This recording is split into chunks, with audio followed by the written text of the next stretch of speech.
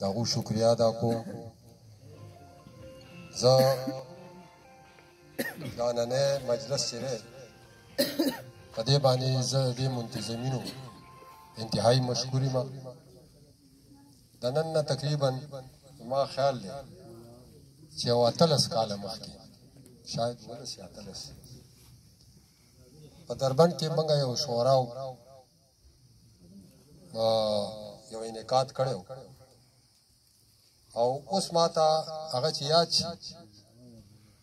نو زرغون شاه هغه د هغه صدر د مجلس الله دې وبخي او داغه اوس ماته دا خبره دغه شو چې څنګه دا په بډاګرام کې سیرای صاحب وي چې بعضی چې کوم وفات شوي شعرا دي هم په خیال راغی چې زه زرګون شاه په دغه کې یو انعقاد وکړ او هغه ته چې کوم دی یو خراجي تحسین پیش کړ زما مشرانو کشرانو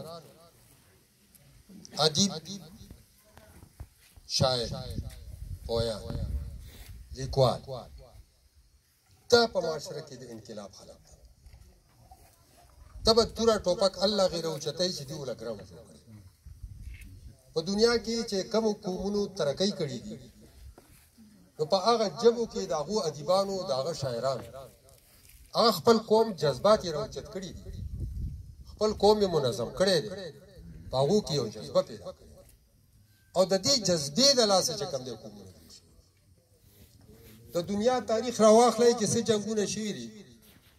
لکه نعیم شاهین صاحب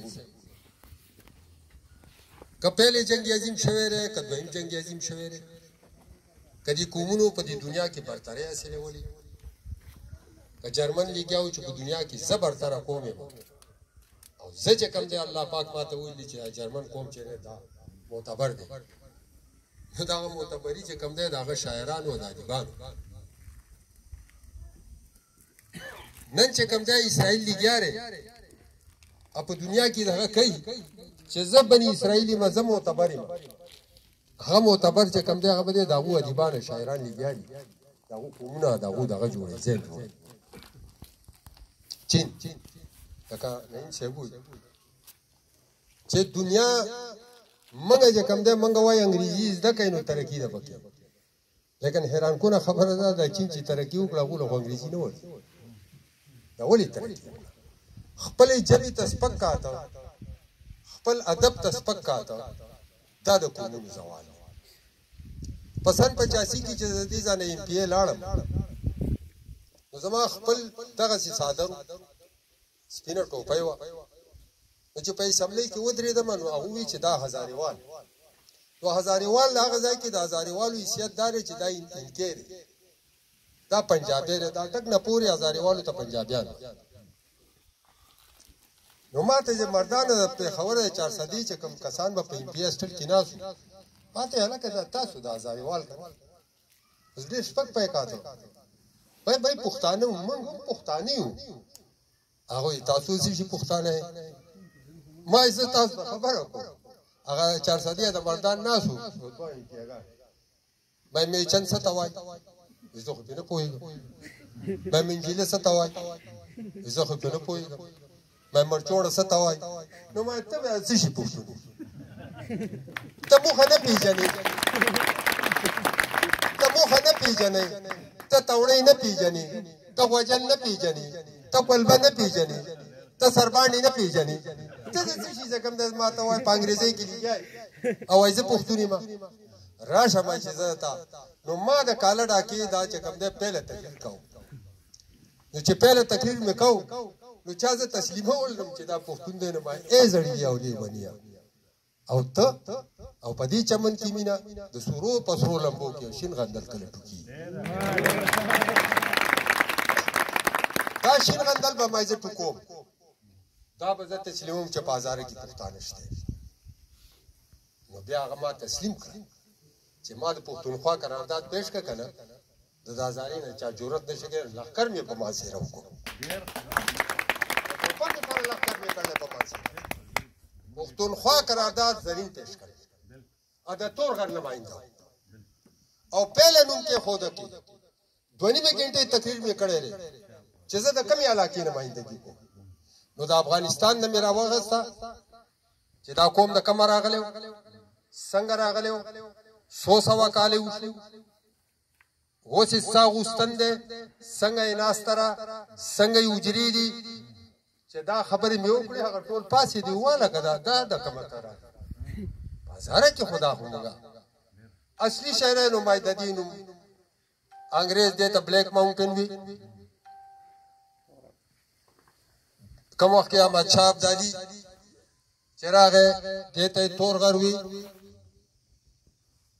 چې کوم وخت کې د یوسف زو دلته ریاست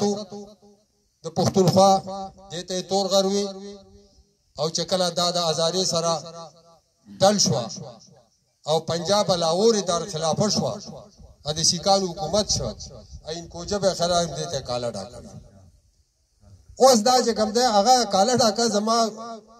ما روستنه نوموي اخر کاله ډاکا کاله ډاکا کاله ډاکا شو بیا چې کوم دی موږ تور غړ لیوی چې دغه کوله زرګولین پیو هغه له بیا تور غړ لیوی هغه په دې ځای پټه کې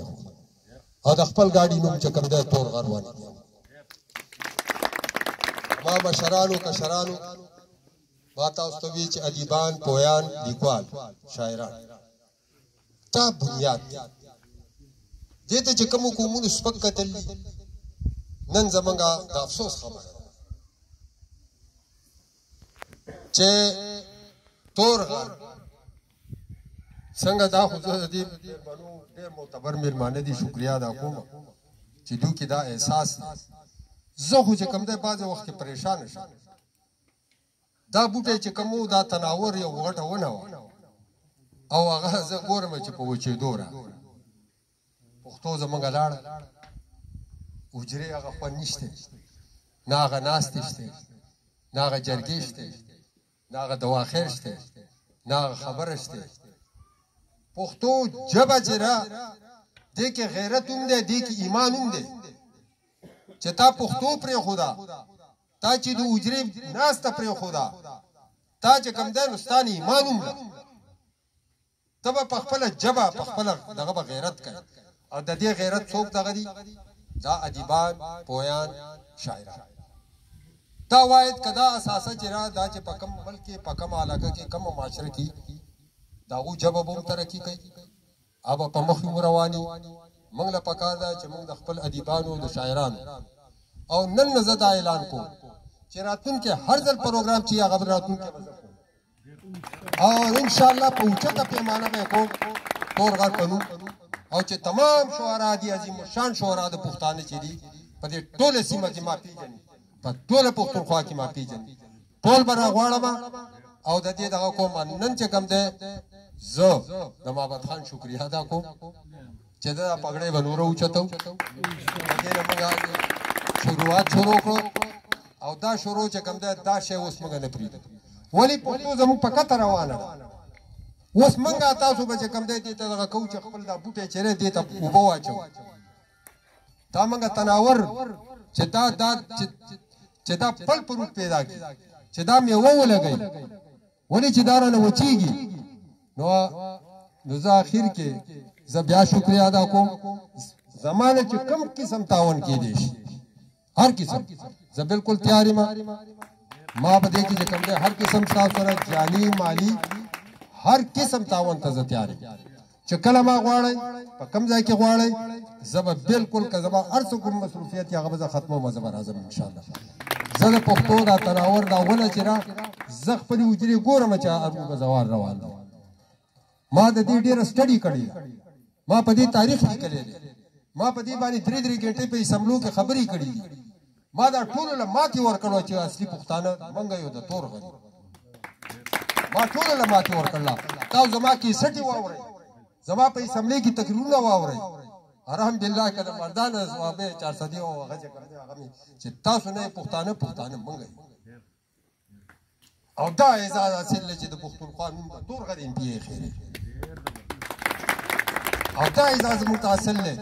چې زمونږ اجري جماعتونه الحمدلله شته لا روب زوال دي لیکن موږ دا ناس خلک چې د نن نه موږ د دې ابتدا کوو زه خپل دې ټول مشرانو ته زه د دې شکریا ادا کوم چې په دې کې به دوی زموږ سره مرسته کوي او دا دغه چیرې دا به موږ خپل ځان دې منزل ته رسو و آخر دعوانا الحمدلله رب العالمین مرګرو تاسو ډیره مننه چې تاسو موږ له دومره وخت راکړو